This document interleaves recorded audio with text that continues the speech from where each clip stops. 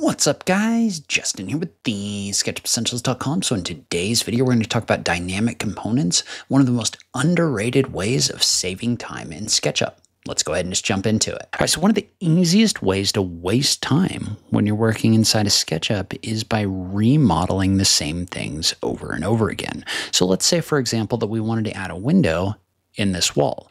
Well, the way to manually do this is you have to start by modeling out a frame.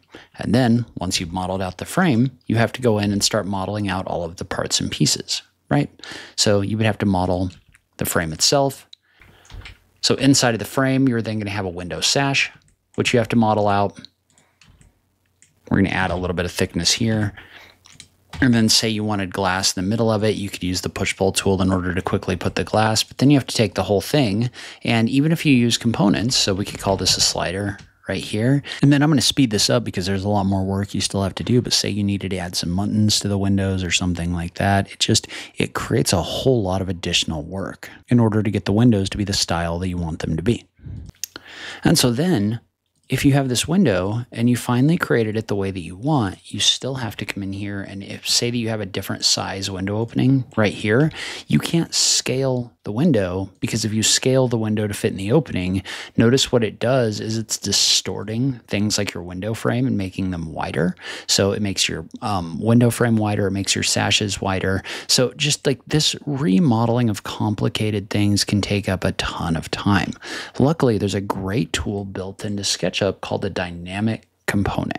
And so a dynamic component is a component that automatically resizes and rescales inside of your model. So like for example, say that I bring this dynamic window in right here and say it doesn't fit in this opening for whatever reason. Well, these are set up where they automatically rescale and resize so that you can just scale them to fit inside of openings right here. So notice how when I do this, this kind of redraws this window right here to maintain the same thickness um, of the different parts and pieces in here. So this is a smart component that you can use in order to build windows that are easily adjustable and changeable. And so the next question is where do you get dynamic components? And there's a few different places you can get them. So first off, you can build them yourself.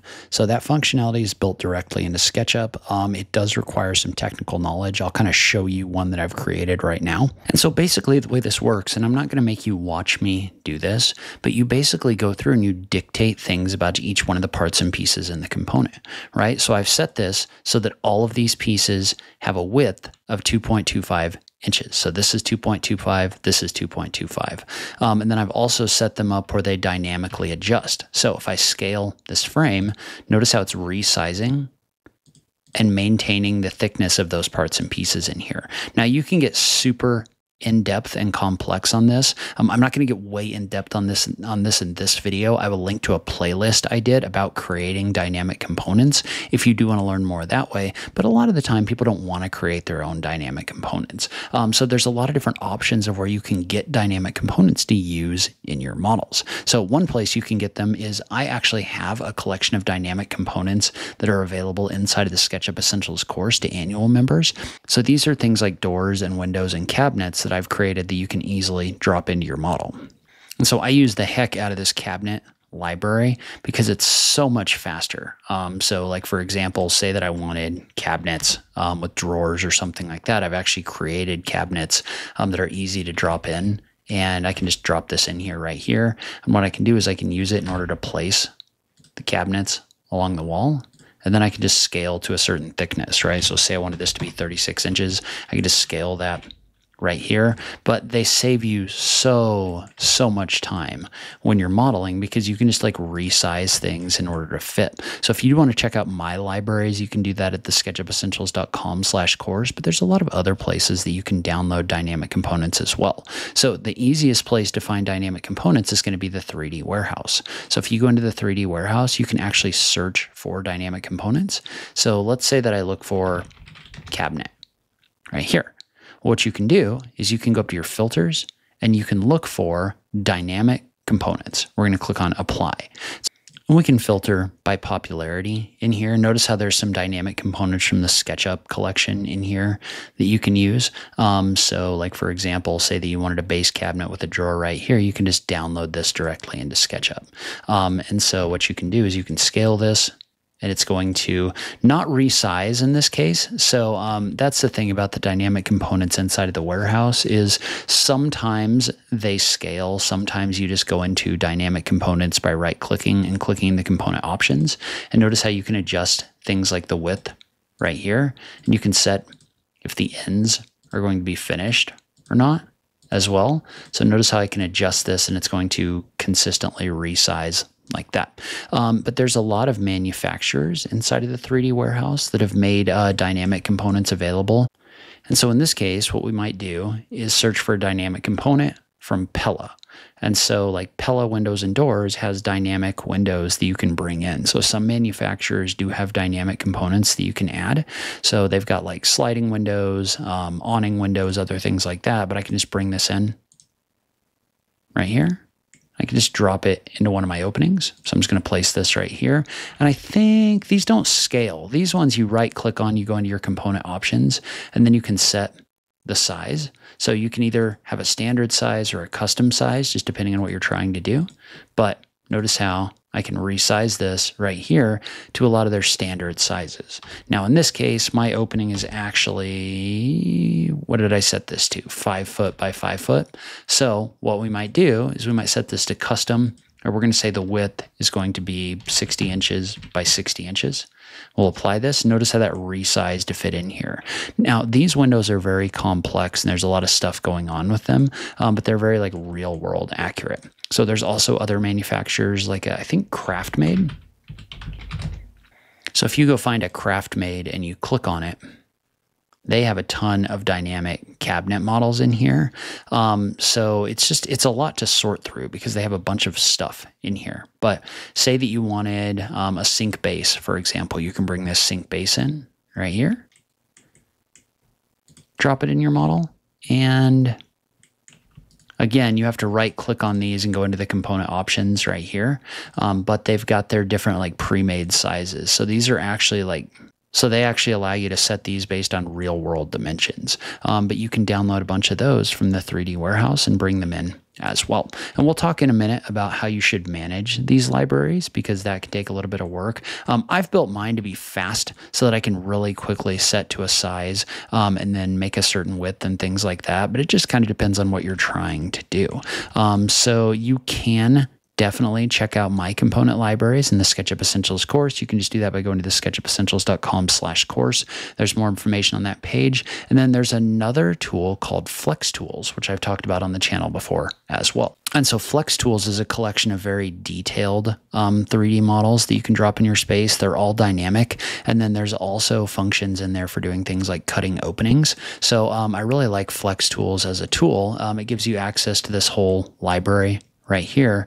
But then you can take this and you can just add things like a window right here and it's all adjustable and it's very easy to do. So like for example, I can scale this one to fit in the opening and then I can, for example, say that we don't want an inset. We're just going to set this to zero right here, and it's just going to fit in your wall. You can set your widths, you can set your sill depths, all those different things um, just by adjusting the options inside of Flex Tools. And uh, Yanni's got a ton of different kinds of models in here, so things like glass doors and things like that. So if you want um, a more complex tool set or a more sophisticated tool set for getting really in depth, um, there's a ton of things you can adjust on his um, dynamic components as well. But whatever you're doing, I highly recommend that you start using dynamic components because they can save you so much time inside of SketchUp.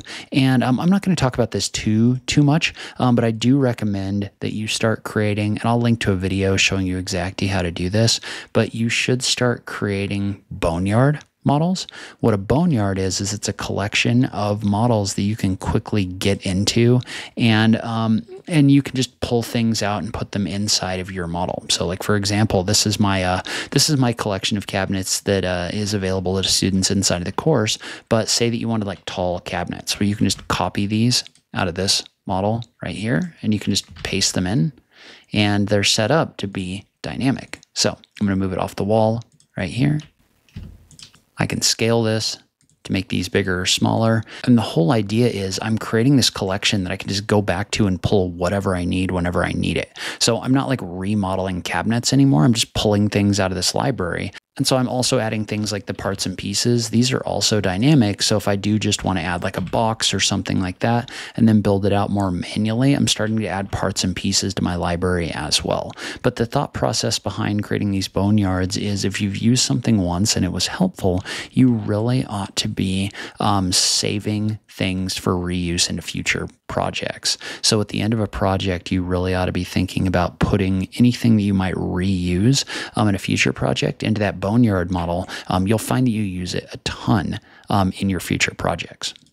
Oh, and so one thing I wanted to hit on real quick is you might have seen these live components inside of the 3D warehouse, right? So these are components that are built on top of Trimble Creator, um, which is the new kind of like authoring program. These are supposed to be kind of like dynamic components 2.0, um, but there's there's some things about these you should know. So um, basically, the way that the live components work is they actually have to connect to a server somewhere right now, and you can place them in your model and you can move them around. They don't currently have the ability to be scaled or anything like that. So what you have to do is you have to edit them using the configure live component option over here on the right hand side, and you can type in values. So say I wanted this to be 24 inches wide by 36 inches high. You can type in values over here. You can also use the sliders in order to make these bigger or smaller.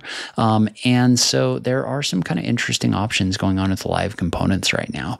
Now at the moment, I don't necessarily recommend you replace the dynamic components with the live components for a couple reasons. So the first is there's not a lot of manufacturer models available out there in the 3D warehouse right now. So um, there's there's not a ton of stuff if you do want those craft mades or something like that. You can't really do anything with that at the moment. Also, authoring them is a little bit tricky because you have to use Trimble Creator, which is SketchUp's dynamic component authoring tool. Um, and so it's just a little bit more complex than the dynamic component functionality, right? You have to use these node trees and these different tools in order to create these. And you can see how they're just, they're, there's like a lot going on here.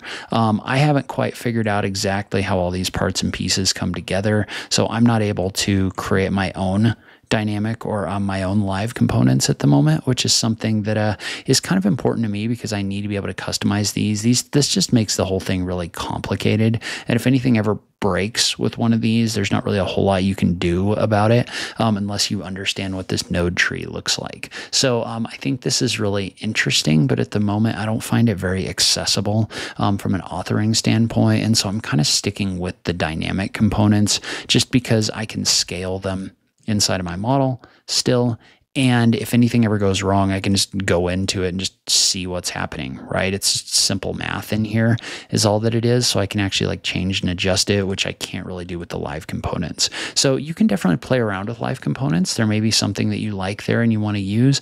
I'm still recommending that you stick with dynamic components right now because I just like the functionality better. All right, so that's kind of an overview of dynamic components. Leave a comment below. Let me know if you're using them, if you like them. I just love having that conversation with you guys. If you do want to check check out my library of dynamic components, you can do that at the sketchupessentials.com slash course. As always, thank you so much for taking the time to watch this, and I'll catch you in the next video. Thanks, guys.